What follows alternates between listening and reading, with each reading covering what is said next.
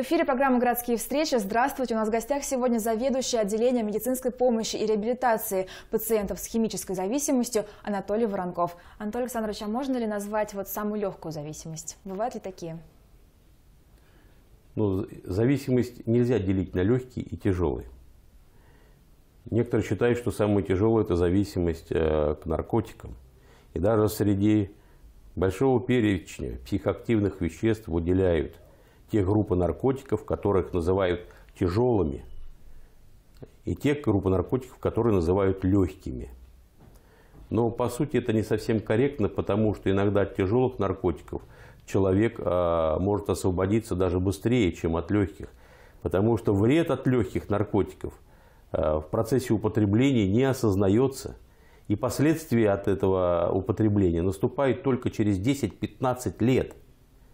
И все эти 10-15 лет человек травит себя. Поэтому здесь говорить, какой наркотик легче, какой тяжелее, нельзя. Также и с другими зависимостями. Многие ученые говорят, что пристрастие к табаку по силе равняется пристрастием к тяжелым наркотикам. У многих э, зависимость к тому же перееданию является зависимостью очень актуальной и от которых они не могут избавиться иногда до конца жизни. Фактически на подсознательном уровне, иногда даже неосознанно, человек э, в процессе своей жизнедеятельности эм, приобретает ту или иную болезненную зависимость. И она по-своему тяжела.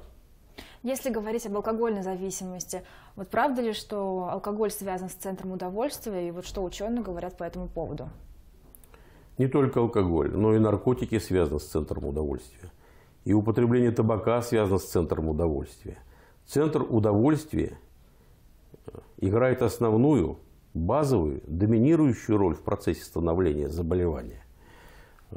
У нас эволюционно развитие нашего организма складывалось так, что э, в процессе нашей жизнедеятельности, э, нашего общения с природой, с питанием – а, с окружающей обстановкой у нас на эволюционном уровне сформировались эти рецепторы.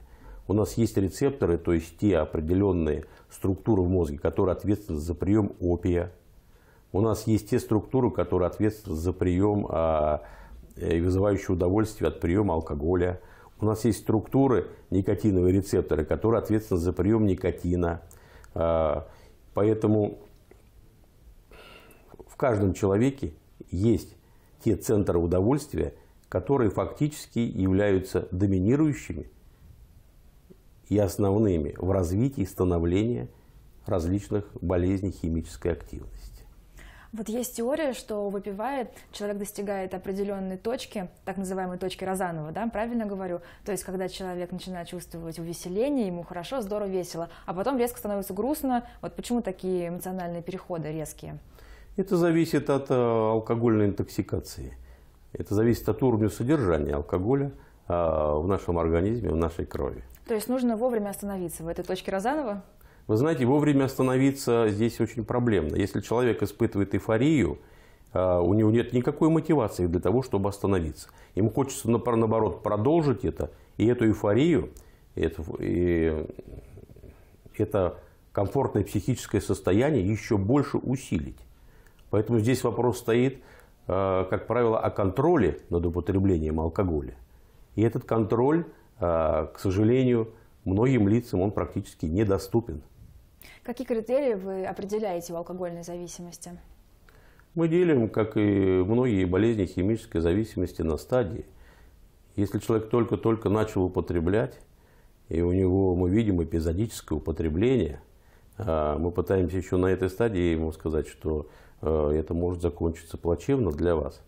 А эпизодическое употребление может перерасти в бытовое пьянство, когда человек еще не алкоголик, когда он сохранен как личность, полностью ядро личности сохранено, социальные э, связи сохранены, семья, положение, э, трудоустройство, но он уже на бытовом уровне является лицом, который неравнодушен к алкоголю, и у него уже на этом уровне формируется психическая зависимость. Воспоминания алкоголя как о благе, определенные мысли, желание повторить еще раз, желание предвкушения очередного праздника либо дня рождения.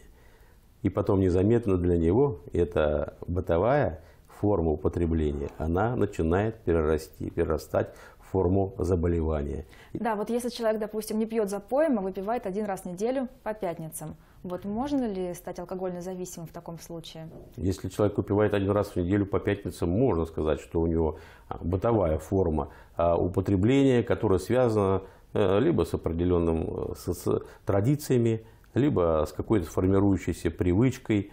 Э, и здесь много факторов, которые влияют на то, перейдет ли эта бытовая форма в болезненную, либо она не перейдет.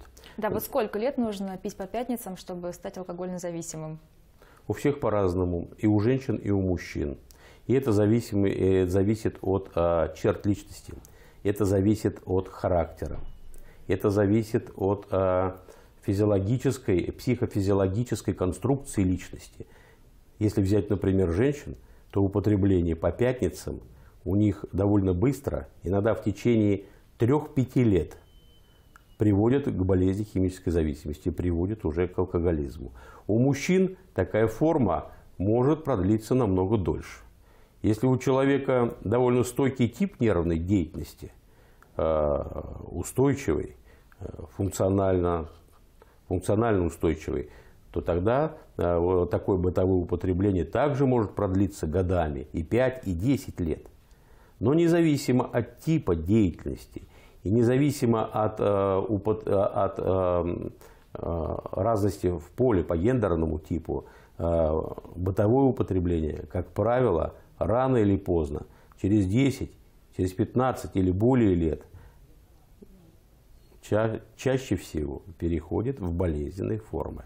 И мы наблюдаем формирование алкоголизма иногда и после 30, и после 40, и даже после 50 лет. Правда ли, что алкоголизм это больше не мужская болезнь? И верен ли тот миф, что женская, женский алкоголизм не лечится? То, что женский алкоголизм не лечится, это миф, вы правильно сказали. Но то, что он лечится намного труднее и намного дольше, это правда. Это современные ученые объясняют, современные концепции научные объясняют это тем, что, как правило, у женщин алкоголизм вторичен – то есть он фактически накладывается на уже какое-то имеющееся заболевание, либо уже имеющее какое-то расстройство личности, либо поведения, либо он накладывается на какое-то пограничное состояние, например, какие-то невротические расстройства. Поэтому, когда приходит женщина, и мы видим, что э, ставим диагноз, что у нее алкоголизм, мы всегда смотрим, мы всегда ищем второй диагноз – мы так их и называем, это пациенты с двойным диагнозом. Это что касается женщин, ну, надо помнить еще, что женщина все-таки они а, эмоционально а, более подвижны и по своей психофизиологической структуре они более уязвимы. Поэтому, конечно же, женская зависимость лечится очень трудно. Анатолий Александрович, вот некоторые врачи говорят, что полезно вечером выпивать один-два бокала красного сухого вина для здоровья. Вот вы, как врач-нарколог, что скажете по этому поводу? Я вам скажу так, что есть определенные традиции и ритуалы в разных странах свои. И существуют европейские страны, где традиционно выпивают один или два бокала сухого вина. Это Италия, это Франция. И такое употребление не приводит к развитию болезни.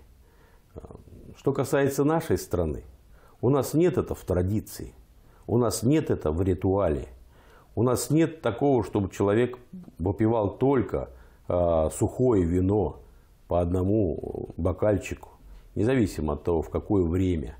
Э, как правило, наши традиции и наши ритуалы обязывают фактически пациента к тому, чтобы употребить после сухого вина еще более крепкие спиртные напитки. И водка, и коньяк, и пиво, и все что угодно. Поэтому у нас таких форм зависимости, которые наблюдаются просто от употребления сухого вина, их очень-очень мало. Их практически не существует. И это, еще раз говорю, это связано с нашими национальными социальными особенностями. Спасибо вам большое за беседу. Мы желаем успехов, удачи в вашей работе. Телезрители напоминаю, что в гостях у нас сегодня был врач-нарколог Анатолий Воронков. Спасибо за внимание. До новых встреч в эфире. Спасибо вам.